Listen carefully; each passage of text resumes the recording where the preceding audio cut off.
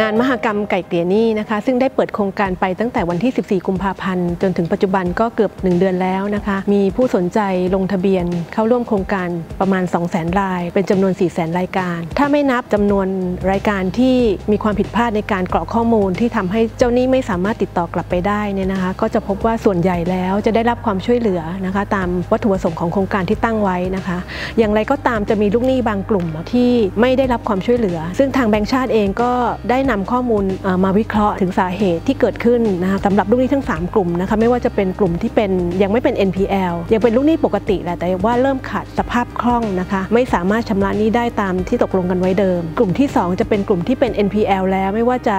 ยังไม่โดนฟ้องนะคะหรืออยู่ระหว่างการฟ้องคดีก็ตามนะก็กลุ่มสุดท้ายจะเป็นกลุ่มที่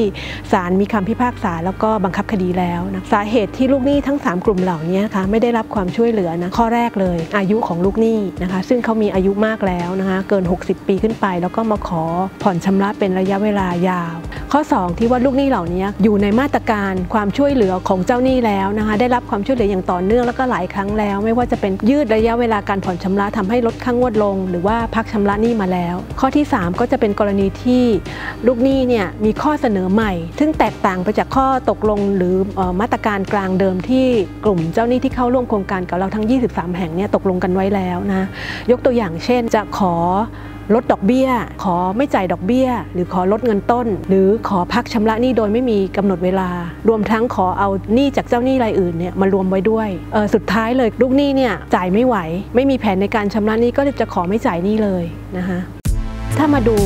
แยกเป็นรายกลุ่มนะคะสำหรับกลุ่มลูกหนี้ที่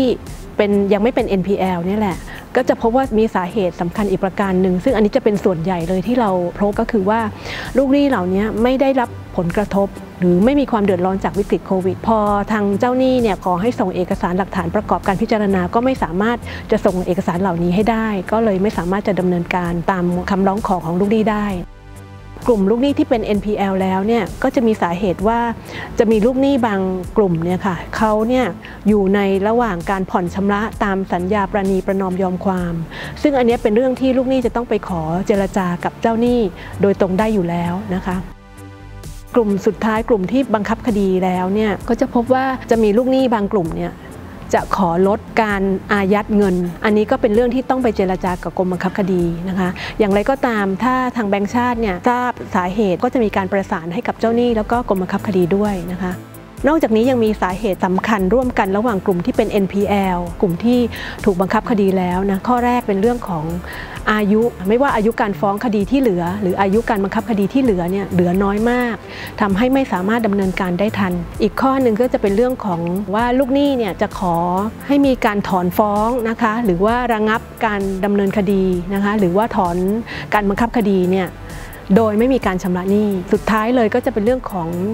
ลูกหนี้บางรายเนี่ยมีเจ้าหนี้หลายราย แต่ยังไม่สามารถไปเจราจาให้มีข้อสรุปกับเจ้าหนี้เหล่านั้นได้นะคะ ซึ่งเจ้าหนี้เหล่านั้นเนี่ยบางทีเนี่ยมีบุริมสิทธิ์เหนือกว่าเจ้าหนี้ที่เข้าร่วมโครงการ ก็ทำให้เกิดอุปสรรคในการดำเนินการให้ความช่วยเหลือ อย่างไรก็ตามนะคะ เราก็ยังมีทางออกสำหรับทั้งลูกหนี้และเจ้าหนี้นะคะทางทางเราก็ขอแนะนำให้ลูกหนี้เนี่ยติดต่อเจ้าหนี้แล้วขอเจรจานะคะ จริง ๆ ต้องถอยกันคนละก้าวนะคะ เพื่อทำให้การช่วยเหลือลูกหนี้เนี่ย สำเร็จคือลูกหนี้เนี่ยสามารถจ่ายชำระหนี้ได้ตามความสามารถจริง ๆ ของตัวเองนะคะในขณะที่เจ้าหนี้เองก็ได้รับชำระหนี้ แม้ว่าอาจจะใช้เวลานานหน่อย แต่ก็ได้ได้ชำระหนี้ครบถ้วนตามข้อตกลงใหม่ที่ตกลงกันไว้ค่ะสำหรับลูกหนี้ที่เป็นหนี้แล้วนะคะ ก็ขอแนะนำว่าข้อแรกเลย ถ้ามีหนี้ต้องจ่ายหนี้ให้ตรงเวลานะคะ แล้วก็ถ้าจ่ายไหวให้รีบให้จ่ายนะคะ ถ้าจ่ายไม่ไหวให้รีบติดต่อเจ้าหนี้นะคะ แล้วก็อย่าสะสมหนี้นะคะ เพราะว่าการมีหนี้เนี่ยเราต้องแก้ไขนะคะ เพื่อเริ่มต้นใหม่อย่างยั่งยืนค่ะ Thank you